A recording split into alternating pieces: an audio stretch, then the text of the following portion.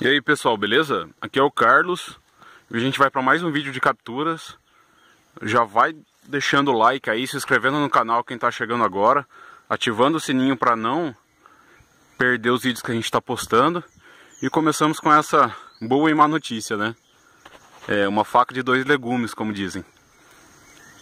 O... Uma captura de borá, só que na isca de 2 litros. Não é o que a gente queria, mas espero que que dê resultado. Tem bastante abelhinha aqui, já faz uma semana que elas estão aqui, então acredito que, que vão entrar na isca, né? Espero que dê certo. Acabei de ver uma abelhinha entrando com pólen ali. Tem algumas abelhas pousando na árvore. Provavelmente pode ser zangão. Elas não estão me atacando aqui. Então ainda não, não tem a def defensividade do enxame que é característico da borá. Tenho várias iscas instaladas de 5 litros, mas a maioria está com jataí. E as que estão vazias, a Borá não, não quis entrar não. Preferiu a de dois mesmo por enquanto. Daqui 30 dias eu transfiro e coloco na caixa. Espero mostrar para vocês o, o resultado positivo disso. Mais uma abelhinha entrando com pólen ali. Então é isso pessoal, vamos dar sequência no vídeo. Tem várias capturas aí para vocês. É, espero que gostem. Provavelmente vai dar um vídeo longo. Talvez eu divida em duas partes, beleza? Bora pra próxima lá. O jataizinho é muito, muito forte. Alta movimentação aqui. Casquinha de folha de coqueiro. Bem forte mesmo, várias sentinelas. Mais uma linda captura. Não sei se vocês estão conseguindo escutar, mas tem uma cachoeirinha ali no fundo. Tá dando para escutar bastante barulho de água aqui. E essa linda captura de jataí. Tá pegando um pouquinho de sol, mas nada demais. Tá bem, camuf... tá bem protegida aqui. Muitas, muitas sentinelas, serinha bem branca na entrada. Indicativo de enxame forte. Mais uma pra conta. Mais uma jataizinha, meio camuflada aqui. Aqui no cerradão. Bastante árvore grossa aqui. E não sei se vocês conseguem ouvir, mas o zunido dentro da garrafa tá bem alto. Hoje é um dia bem quente. Não tá pegando sol na isca. Mas o zunido tá bem alto aqui. Outra jataizinha pega na camuflagem. Movimentação bem grande do enxame. Serinha bem branca. Olha só. Enxame bem forte mesmo. Árvore grossa, protegida do sol e bem camuflada.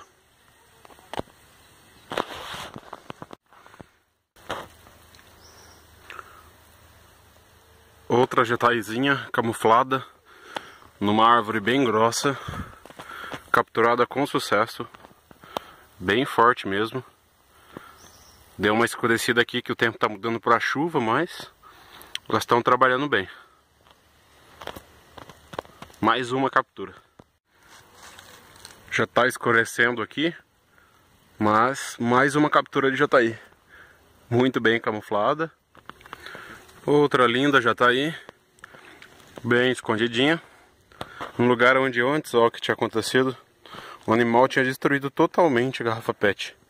Eu recolhi, né, claro, o plástico, deixei só o papel e instalei outra isca no lugar.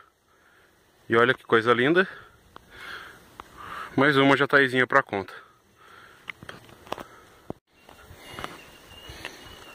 Olha só que sacanagem, pessoal. Dá um desânimo demais na gente. Uma isca que eu iniciei o vídeo das capturas da primavera, estava aqui nessa peroba, ali no alto para nenhum animal mexer. E olha o que aconteceu. Ela estava ali do lado do... Estava aqui no chão jogada. Olha o tipo de buraco que fizeram aqui. Nenhum animal, nenhum... O pior animal faz desse tipo de buraco aqui. Buraco feito com uma faca, retiraram um pedaço aqui para ver o que tinha dentro. Por pouco a gente não solta palavrão aqui no vídeo. Eu vou estar tá colocando ele no lugar, eu só vim aqui coletar umas estacas aqui de plantas no mato e acabei me deparando com isso daqui. É pra, pra uma propriedade privada sua e ainda e ainda tem que ele ficar à mercê de bando de bandido. Vou amarrar ali de novo e esperar que, que, eu, que esteja tudo bem com a isca, né? Bicho, é, forídeo ou formiga não deu, mas tava jogado ali no chão. As campeiras se perderam provavelmente. Nossa. Faz parte. Não, não deveria fazer parte, né? Mas. Mais uma jataizinha na camuflagem da palha de coqueiro. Casca de folha de coqueiro, né? Olha aí quanta abelhinha aqui na de guarda, enxame bem forte.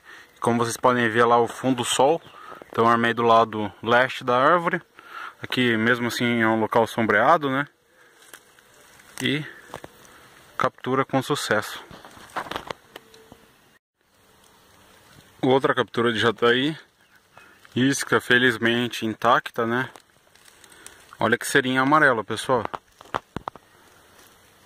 Indício de enxame bem forte, serinha novinha, amarelinha. Aí focou um pouquinho melhor. Bastante guardas aqui.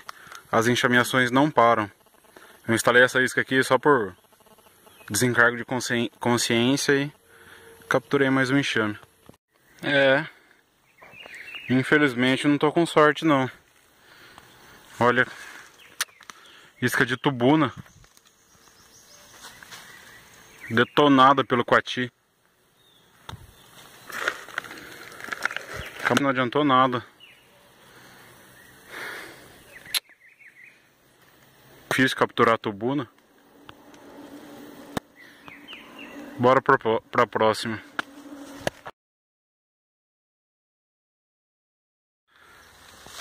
Mais uma jataizinha. Camuflada.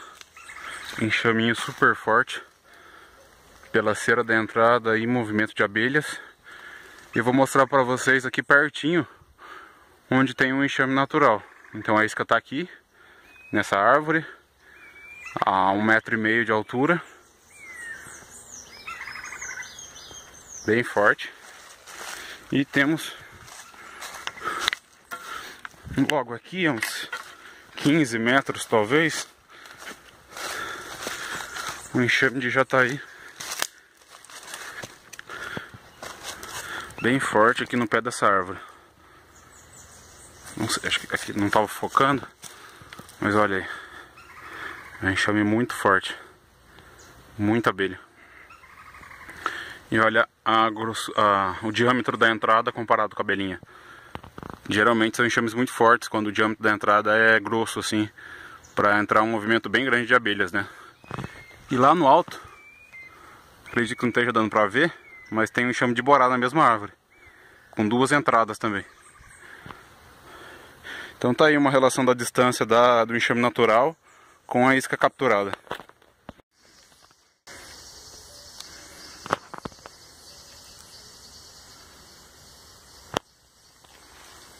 Outra linda já tá aí.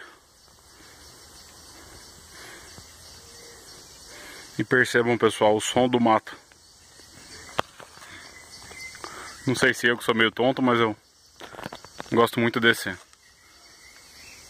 silêncio, né? Humano com barulho da natureza. Tá dando para escutar os unidos das apes, né? No vídeo provavelmente não, mas aqui eu tô escutando. Tá tendo alguma florada boa aqui em cima. E as apes estão fazendo a festa. Apes, arapuá, né? Abelhas que fazem mais barulho. Mamangavas. E solitárias maiores, né? E as jataizinhas trabalhando quietinho aqui, ó. Bastantinha abelha mesmo. E é isso, pessoal. Um metro e meio do chão. Para evitar alguns predadores e que o gado mexa, né? Que é um local, uma mata de ao lado de uma pastagem. Então tá protegendo elas. E acredito que a camuflagem está ajudando bastante, porque aqui é local de coati. Beleza?